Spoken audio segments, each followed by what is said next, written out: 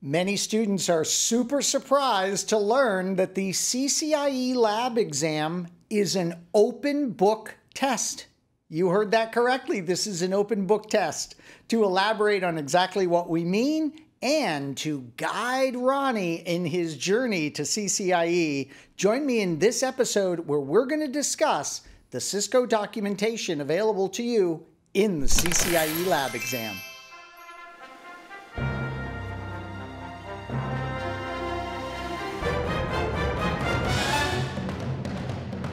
Well, Ronnie, did first of all, were Right. you aware of this? Did you know that the documentation is available to you in the lab?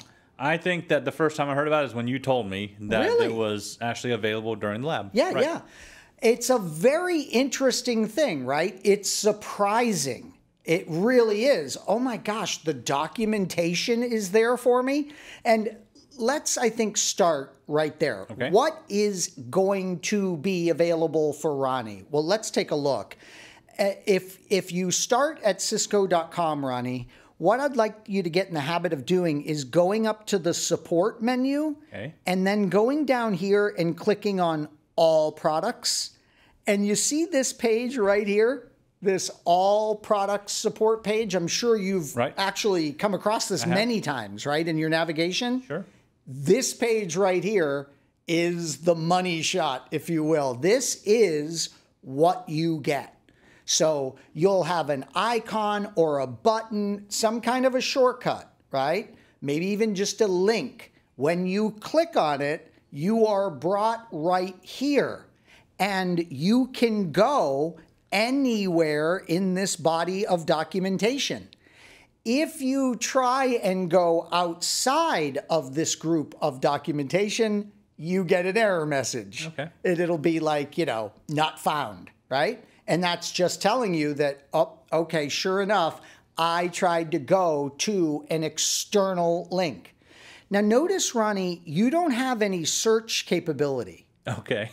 Okay. Yeah. So, one of the things that I'm going to challenge Ronnie with is the ability to find things in the documentation. Let's do one real quick. How about the DMVPN? All right. You need to know it backwards, forwards, inside, and out. Let's say you're in the lab exam and you realize, oh my gosh, I forgot what command I need here. And you need to find it in the documentation quickly without searching. Ronnie could go, all right, no problem. I'm going to go to the IOS. I'm going to go to the version of IOS code in the lab. Let's just pretend it's 15.2 M&T. I don't think it is, but we'll just pretend that it is. He goes there. In the documentation tab here, he can go to the configuration category.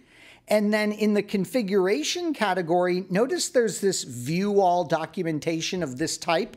That's important. Now he's in the configuration guides for his IOS. And under the security, services, and VPN section, he has secure connectivity, securing the data plane, and securing user services. So, do you see what one of the challenges is here? Where is Right. the DMVPN? It's just too much information to say that to, to experience it the first time in lab. That's exactly right, Ronnie. I want you practicing with the documentation so you know. And I got to be honest, I forget which one of these the DMVPN is in. I'm going to guess secure connectivity. Mm-hmm. And so I click on that and the formatting's a bit a bit messed up, but I guessed correctly. Look at that. The DMVPN configuration guide. Now, Ronnie knows how to quickly find this information. Almost. Now, what Ronnie has to do is he has to become familiar with how this particular guide is laid out. So, most of what Ronnie would be responsible for, turns out, is in the very first chapter. But just remember that when he gets to portions of the documentation on complex features like DMVPN, BGP, MPLS, whatever that complex topic might be, he needs to spend some time with how are those subchapters arranged and which of the subchapters apply to him. So really, Ronnie, consider to, to start practicing with this documentation. One of the tips that I did was even if I didn't think I would need it, I made sure I could locate things in the docs. Okay. Does that make sense? Like, Sure. here, here's a good example OSPF. Right. I feel like I know that really well. And I certainly did going into the lab. I don't know it anymore like I used to know it. Ronnie was laughing at me in an episode where I forgot how to summarize from one area to another because if you don't practice it, you don't have it in your memory banks. But when I was getting ready for my lab, Ronnie, I knew OSPF really super well, but I still made sure I could find everything in the docs Right. Because I knew what might happen to me. And that is, they're uncanny with this. The proctors will compose an OSPF question Okay.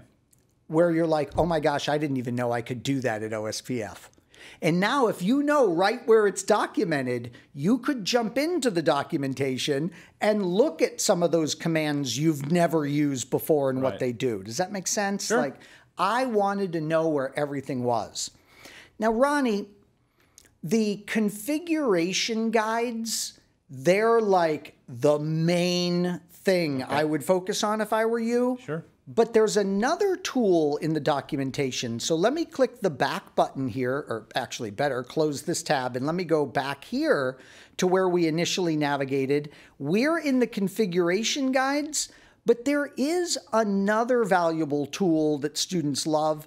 I didn't use this much at all, but but I want to show it to you because a lot of students swear by this approach, and that is the command references. So notice there's a reference section, and they might go like, "Oh my gosh, how did you how did you survive, Anthony, without the DMVPN command reference?" Right? And you know, I, I didn't use it, but I want to show you this because sure enough, there's the security and VPN section. And now here's all your security commands from A to Z. What the command reference is nice for is getting every detail possible on a particular command, right? So, like, oh, I'll just jump in here and pick one randomly. Like, uh, how about oh, the class map type inspect.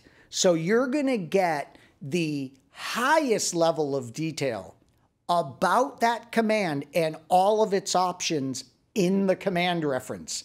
So your two main bodies of documents, Ronnie, the configuration guides and the command references. All right, so Anthony, let's go back to the idea of actually using it during the exam. Okay, so prepping up, making sure we understand how this works. But when you're actually in the middle of whatever question it is, um, how do you use it effectively to be able to, to say, hey, uh, how much time do we actually need to kind of limit ourselves to? Or should I sit there and make sure I go over the whole thing if I'm not sure? How do we actually do that? Yeah, it's a great question. So, what I did was I made sure that I could find anything, any technology super quickly in the documentation. That I would highly recommend you do that. Okay. And then be ready to not use it. Hopefully, you never go in there. The day I passed, I think I went in there once, maybe twice. That's it. Okay. And a, a classic example of why I went in there, Ronnie, was oh, that's an involved config. I didn't memorize how to do that, Right. but I know right where it is. Okay. You know what I mean? So when you get to a config where you're like, oh my gosh, I'm not going to memorize all those steps. If you know where those steps are right in the documentation, then you don't have to memorize those steps. Make sense? Yes. Um, those students that are like, oh, yeah, I was in the documentation all day during the config section, it, typically they've failed the mm-hmm. config section. You know, Yeah. think about it. If, if if you have to look up how to do an EIGRP neighborship, Right. you're in big trouble. You shouldn't be needing to look that up. Now, one last tip I want to give here is I bummed Ronnie out when I pointed out there was no search.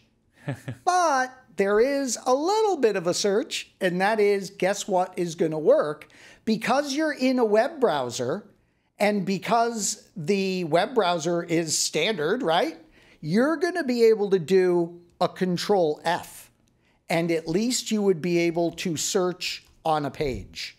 So here I'm pulling up all the instances of the word crypto, right? So you can search with the control F Okay. on a page, and that's better than nothing, I suppose. No doubt. Yep. All right. But no Google searching, Ronnie, and no phoning a friend. oh, Yeah. man. Well, everybody, this has been, I hope you agree, a very important episode of our journey to CCIE for Ronnie Wong because that documentation being there for you, it really could be the difference in passing or failing the lab exam. Let's face it, it really could be the difference maker. But it's a double edged sword because if you have to be in the documentation a lot, during your exam, yikes, that's probably a really bad sign. Well, we are just getting started in these Journey to CCIE episodes. Next up, we're going to, by request, teach a topic at the CCIE level. We're going to do Ether Channel, one of the most early topics that you're responsible for in your objectives for CCIE. So you'll watch as Ronnie and I go through that topic at an IE level. That's coming up in the next episode. Be sure to subscribe to the IT Pro TV YouTube channel and maybe even click on that bell for notifications so you don't miss any of these episodes of Ronnie's Journey to CCIE. Thanks so much for joining us.